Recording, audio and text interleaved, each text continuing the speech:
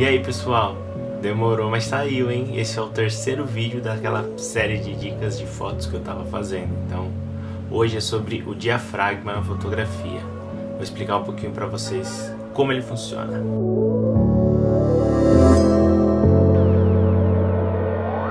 Bora lá então explicar um pouquinho sobre o diafragma.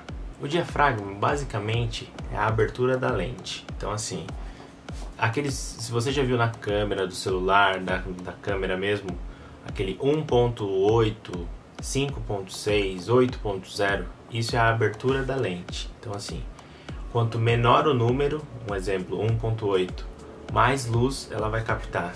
Então assim, ela vai conseguir captar muita luz. Uma, você quer uma foto mais clara, em ambientes escuros, você quer uma foto que fique mais clara, abaixando esse, é, deixando esse número em 1.8, 2.4, ela realmente vai ficar com mais luz na, na foto. E uma foto mais escura, que assim, geralmente você precisa... Eu vou explicar direitinho para que geralmente usam a abertura 1.8 ou a abertura mais com números mais altos. Então assim, com mais números, tipo f.20, f.18, a foto vai ficar mais escura, ela vai entrar menos luz. Então assim, é, ela também faz parte daquele controle sobre a, a luz que a câmera registra. Como eu disse anteriormente, as, a abertura da lente também controla outros fatores. A profundidade de campo. O que seria a profundidade de campo?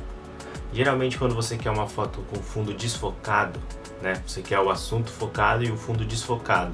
Você abaixa esse número de abertura. Então você deixa 1.8, 2.4, a câmera vai focar menos, menos objetos, né? A profundidade de campo é muito menor nessa, nessa abertura mais baixa, né? 1.8. Vai entrar mais luz, mas vai focar menos coisa, ou seja, vai focar o que você precisa e o que não tiver, o que tiver mais longe ou atrás vai ficar desfocado. Então, para você basicamente desfocar uma foto, seria essa uma das opções. Tem como você fazer de outras maneiras, mas explicando bem simples, bem, bem, bem superficial, é, é basicamente isso. Uma abertura de lente 1.8, 2.4, você consegue desfocar melhor o fundo.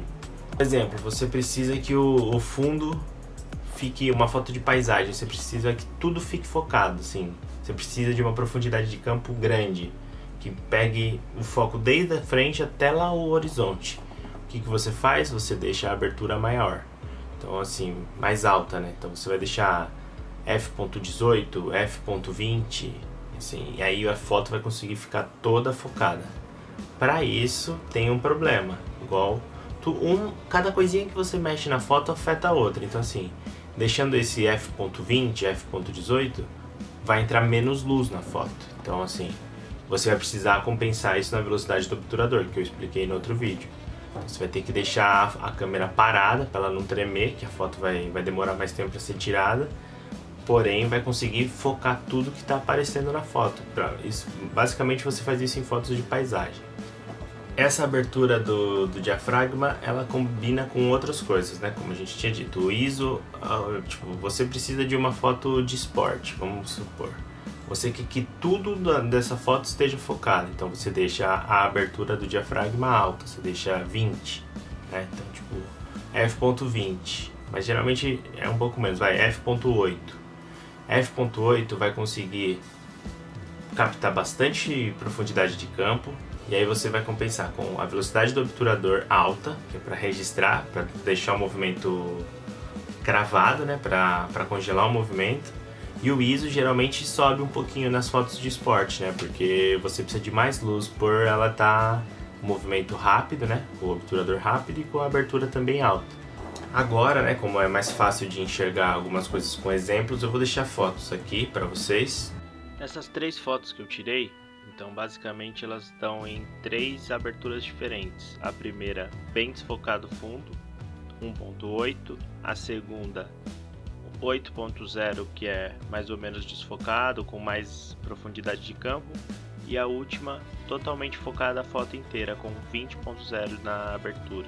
Bom, além das fotos que eu deixei de exemplo, eu vou deixar para vocês também o, o formato, como fica a lente, né, de acordo com essa abertura do diafragma.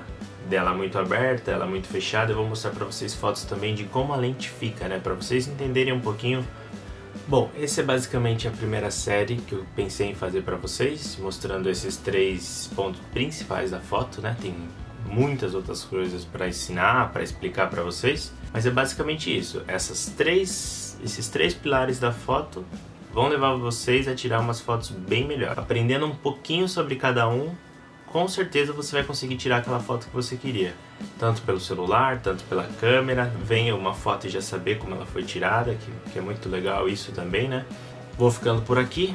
Quem quiser me mandar dicas de, do que fizer, do que fazer aqui pra frente, eu tô pensando em fazer mais vídeos, agora vou fazer com mais frequência. Desculpa por ter esse pulo entre esses três primeiros. Pode me mandar e eu tô aberto a sugestões. Então, ficamos por aqui e valeu!